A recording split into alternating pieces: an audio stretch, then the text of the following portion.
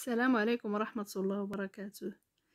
آه، يعتبر البط من الوسائل التي يستعملها آه، أحد الدول وهي بالخصوص الصين في محاربة ظاهرة الجراد.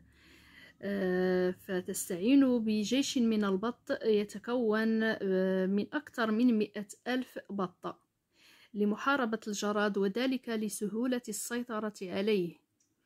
إذ يفضل البقاء ضمن مجموعة واحدة عكس الدجاج وتسهل السيطرة عليه آه، كما تلاحظون في الفيديو. ويقول خبراء الصينيون أن البطة الواحدة تستطيع التهام حوالي أكثر من 200 جرادة يوميا وهو ما يساهم في القضاء عليه في وقت قصير. ويضيفون أن البط في هذه الحالة يعتبر سلاحا بيولوجيا وهو أفضل بكثير من المبيدات الكيماوية التي تلحق ضررا بالنباتات وأيضا بالإنسان.